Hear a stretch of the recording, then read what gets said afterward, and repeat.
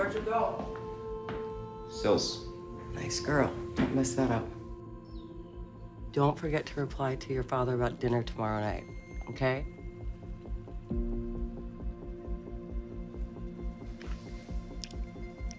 Frankie, is there something wrong with me?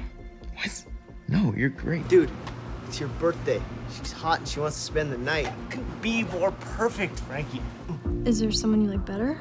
That is so childish. I think it's kind of cute. Got you something. Flare again. Cool. Thanks, bro.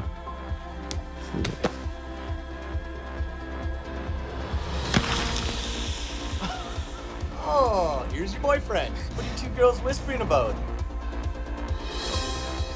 Never would have happened if we weren't wasted.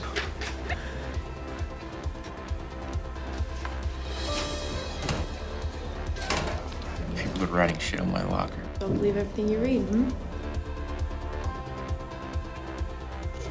Let me see your tongue.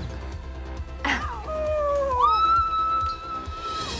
thought it was supposed to be socially acceptable these days for kids to experiment. Do you really think he's into you?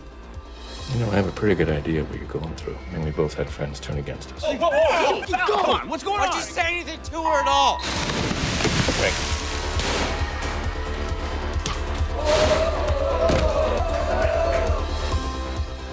Show up tomorrow, head held high, middle finger salute raised, and they'll realize they can't get you.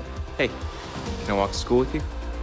You do realize that together we make one giant target, right?